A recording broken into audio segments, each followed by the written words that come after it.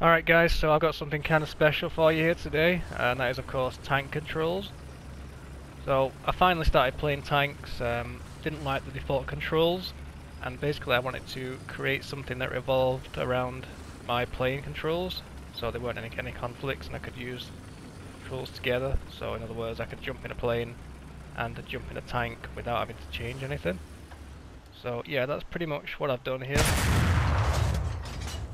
Um, so, just to summarise how it all works, um, the throttle is on the right stick up and down, just like in the planes. Um, the steering is L1 and R1, again, just like the planes.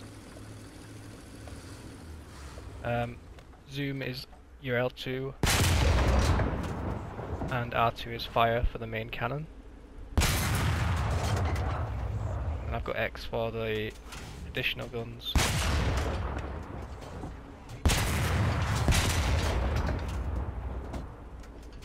And to go down the scope, I just double tap, um, well I press L1 and R1 in together, sorry. So that brings up the scope.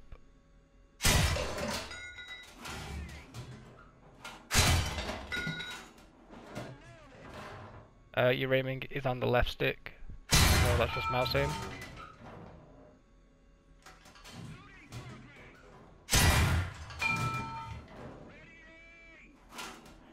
Rangefinder is circle. So if you want to find out how far away a target is, you can just press circle, and that will give you the range. And then what I've set up here is the sight control on the right stick. So I've held the right stick in, and I can then adjust it by going up or down. So this guy is at 600. So that now, if you see the, the crosshair has actually moved down so I know exactly where he is. Um, that's for the main caliber though. So as you can see the main one hits, but I have to actually adjust my aim for this one. But yeah, that's really handy to have um, just to find out where where your targets are, how far away they are. And I'm guessing the more you use it, um, you're going to be accustomed to it, and eventually you won't even need to use it. You'll just know exactly where they are. Um, but I'm pretty new to tanks, so it's, it's really useful for me. Um, binoculars are on the left stick, pressed in. So I've actually found that you can look around with the binoculars. Um, it gives you a slightly above view um, from your tank, so you're not putting yourself into a position where you can be shot at. And you can also look around without moving the turret with this, which is really handy. And also, if you find a target, you can just tap the fire button. Um, go into... Yeah, and as you can see, the turret has moved on its own. Where it was positioned with the binoculars. Um, I've also got the driver view here on the right D-pad. It's not really something you need, but I'm just playing with this um, and the only other thing really worth mentioning is I've moved the map to D-pad down because obviously in tanks um, it's more useful to be having the map out. Um, previously I had this on the scoreboard so down would bring my scoreboard up um, but now it brings the map up. So I've simply just moved, I've switched those so the scoreboard is now the right stick pressed in plus right.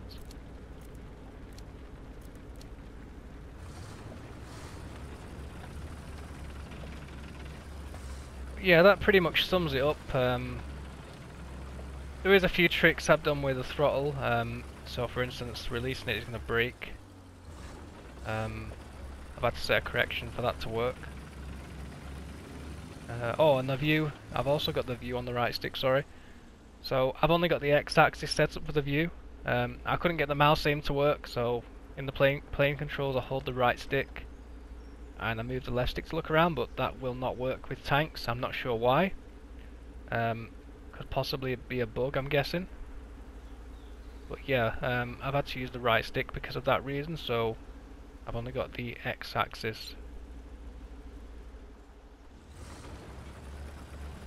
But still I can look around um, pretty good like that. And like I say it doesn't work with the the mouse camera so uh, this is basically what you're left with anyway, it's the only option you've got. Um, but yeah, it works pretty good.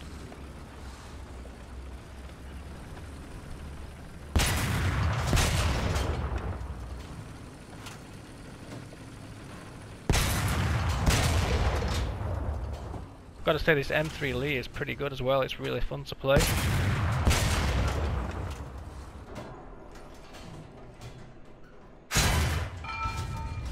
Like you wouldn't expect a tank like this to be able to take that out, but it, it does, no problems.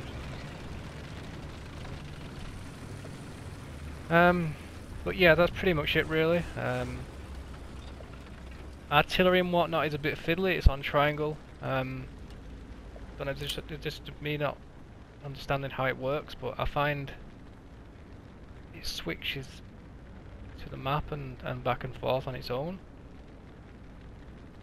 Don't know, maybe you guys can help me out with that, explain what's going on there. But basically what's happening is I'm pressing triangle and it's bringing the map up um, where I want to be in third person and vice versa. So yeah, hopefully you guys can explain that one for me. Um, but yeah, that pretty much sums up the controls. Um, just combined tank and plane controls, so so you don't have to switch when you, you're playing different modes. So I'm going to bring up the control screen now, just explain a few things in detail. So I'm using automatic transmission here. So throttle it just right stick up down like I was saying, pretty much identical to the plane controls, only it's not relative control.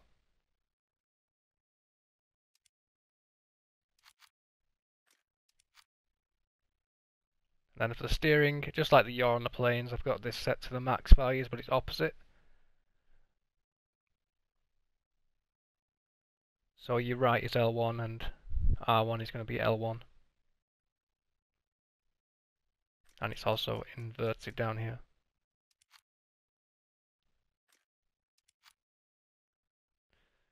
Uh, the brakes now, this is where it gets kind of complicated. Um, essentially what I wanted to do is I wanted to um, make the tank brake as soon as I put the throttle, the right stick in neutral, in other words, as soon as I let go of the stick. So when that's in the, in the neutral position, I wanted it to brake. So essentially what I've done is I've set the axis up here to the right stick up down for the brakes. And I've got the correction set all the way up to the top.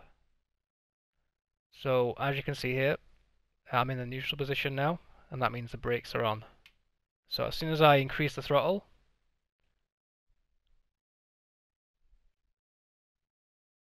so you see the physical axis there, as soon as I increase it, that means they're off. Bear in mind this is inverted. So release it, the brakes are on, throttle up and the brakes are off. And then what I've got here on the right, on the min value, so this is going to release the brakes again. Um, so for reverse, I've got the right stick down. So when I pull it down, again the brakes are going to release. Um, I've also got the right stick up there. And finally I've got R1, which is the steering. So when I'm moving to um, to the left, so R1 is left, remember? The tracks are opposite. Um, so when I'm moving right, the brakes are going to release there again. And then again for the right brake, same thing. So we've got right stick up. Um, for some reason I've got R1 and L1 in there. I think that should be L L1. Yeah, right stick up, right stick down, and L1, I believe. So yeah, that's just a, a neat little trick I figured out to make sure the brakes were on when I let go of the throttle. And again, when I'm steering, um, it also means you can look down the sight as well without the brakes being applied. That's another thing I wanted to be able to do. So I wanted to be able to aim while I was on the move. Um, so that's the way I've got around that one.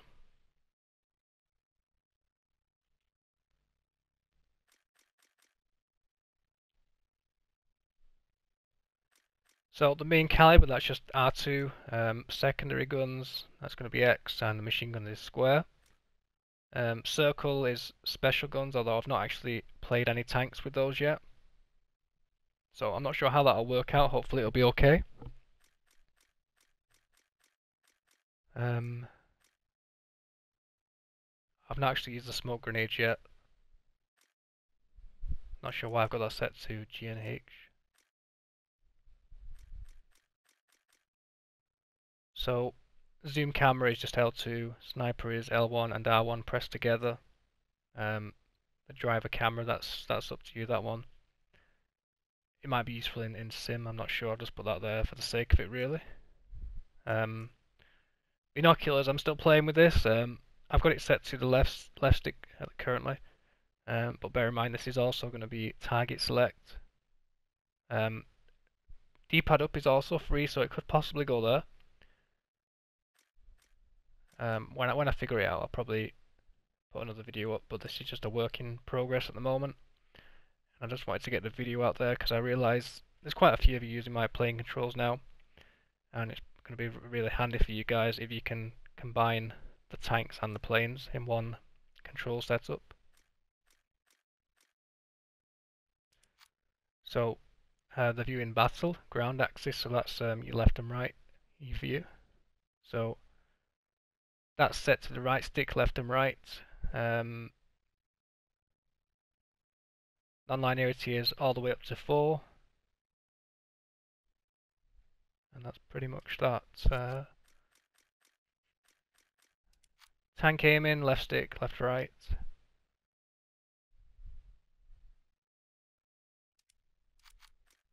Same with the y-axis on these up and down.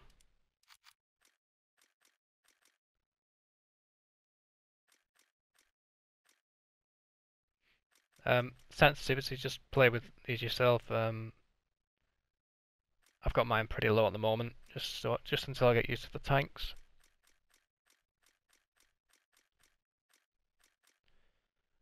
Uh, tank repair is circle, so that's the same as your special guns. Um, I've also got fire extinguisher on circle. And then for your shell selection, it's just L2 plus left, up, right and down. So all your shells are on the D-pad. And then as I was saying, um, the event selection menu, that's triangle. So that's what you use for the artillery. Um, rangefinder is circle. And the final one is the sight distance control. So this is the one where you can change the crosshair. So I've got this set to inverted.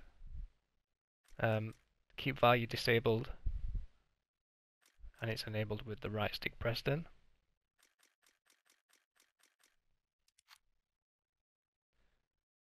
Um, and just to cover what I've changed with the map and the scoreboard. So as I was saying, I've just I've just flipped these around. So the map is now down, and the scoreboard is the right stick pressed in plus right.